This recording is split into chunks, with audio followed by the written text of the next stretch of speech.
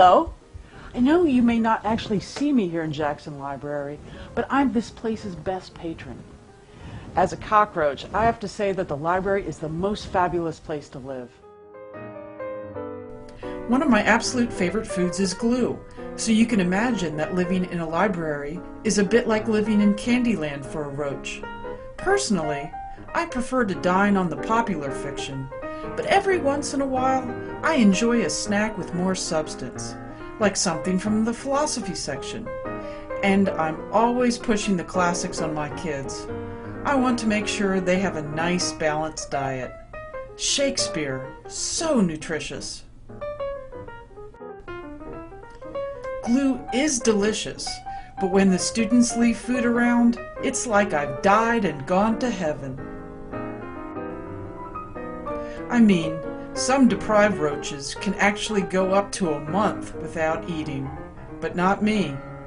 In a place like this, who couldn't live happily to the ripe old age of two years?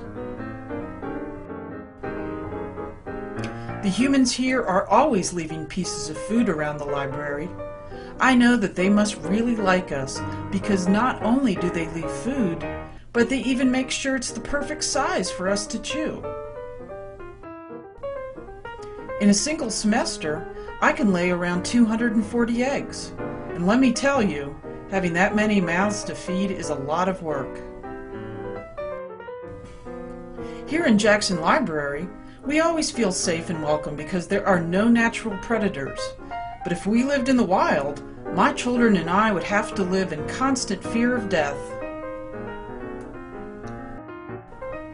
I really, really love it when they leave some coffee or soda out for me. Mmm, sugary goodness.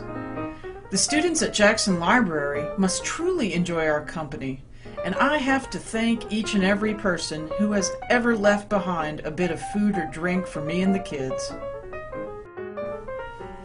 With all the food that's left for us in the library, my kids have been able to grow up with such strong and shiny exoskeletons that even the roaches in other buildings are jealous.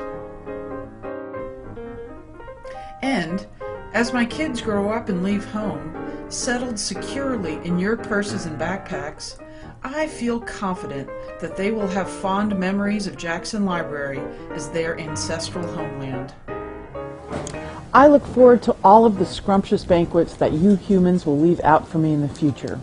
Though you may not see me, I want you all to know that I'm thankful to all of you for helping my family to thrive. We could not do it without you.